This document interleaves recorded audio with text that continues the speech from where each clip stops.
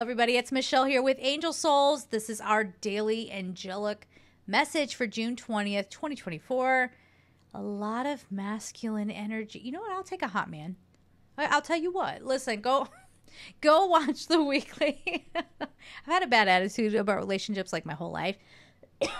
but, you know, listen, for the right guy, sure.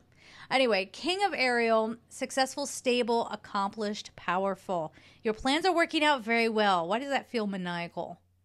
Y'all better be on the up and up out there, okay? Your plans are working out very well. Professional and financial success, using resources wisely. This is what I want to say about this. I hope I don't get myself in trouble. I hope I'm not being narrow minded, but I'm to try it anyway. Um, if we're looking at divine energy, usually the way it manifests through a human form.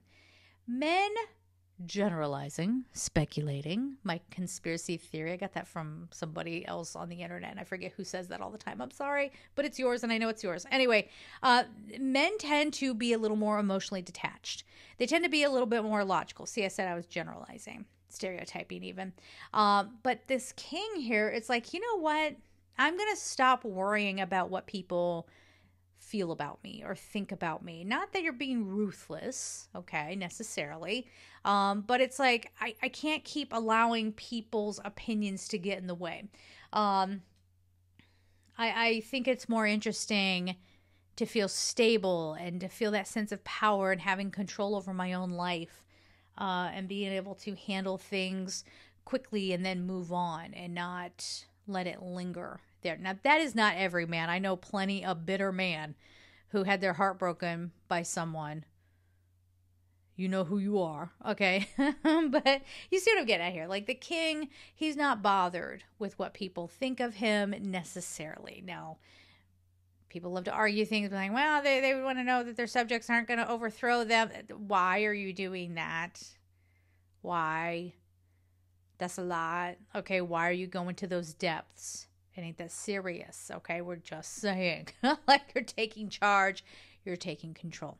Again, allowing some more of that masculine energy to be healed, like I said, and I've been saying in all these readings, but also to allow that to come up to the surface a little bit more.